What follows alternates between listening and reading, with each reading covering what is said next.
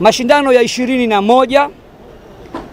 Leo tarehe ishirini na tano mwezi wa nne mwaka huu 2021 ikiwa siku ya Jumapili mapema kabisa saa moja dakika 25, yale mashindano makubwa zaidi ya Afrika na duniani kwa ujumla leo yamefanyika salama salmin na yameshirikisha nchi ishirini.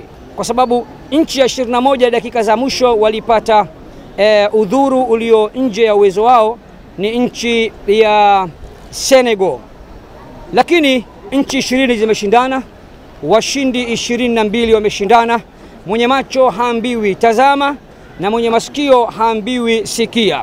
Kwa wale ambao wanadhani ya kuwa Jamhuri ya Muungano ya Watanzania ina korona, leo wameona. Wanaodhani ya kuwa katika nchi yetu kuna kimbunga kinachoitwa Jobo.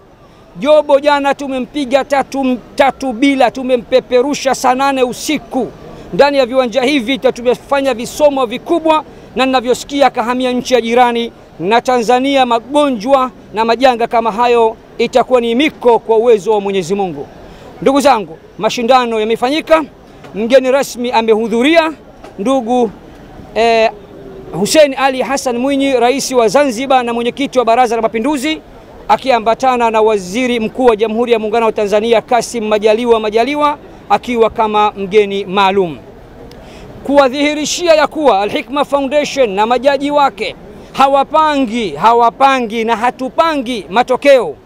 Tuliandaa nyumba yenye thamani ya shilingi milioni 40, nyumba inayopatikana katika wilaya ya Temeke yenye viumba vinne yenye fremu ya duka na yenye thamani ya shilingi milioni 40, na tukasema ya Mungu mengi, endapo Mtanzania atakuwa mshindi wa kwanza, tutamtoa kimaisha, tutamwandalia tunu maalum, ikiwa hiyo ndiyo zawadi yake, zawadi iliyotoka katika zawadi iliyotoka kutoka kwa benki ya PBZ eh, Islamic Banking.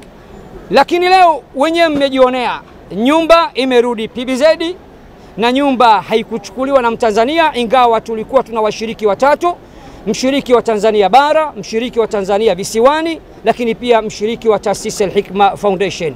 Wote hao hawakujaliwa kushinda, na hatimaye bingwa wa leo, steringi wa leo na mwamba wa leo alikuwa kijana kutoka eh, Niger, na amejichukulia pesa taslimu za Kitanzania shilingi milioni 40 ikiambatana na cheti cha ushindi na shilingi milioni moja kama vocha kwenda kujichaguliwa chochote anachotaka katika mall za GSM.